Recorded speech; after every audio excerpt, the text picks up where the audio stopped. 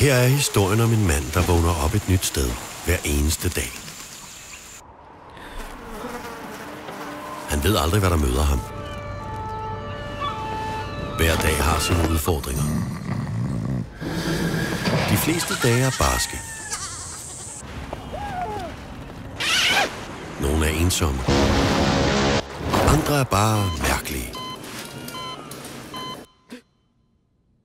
Men indimellem er de helt vidunderlige.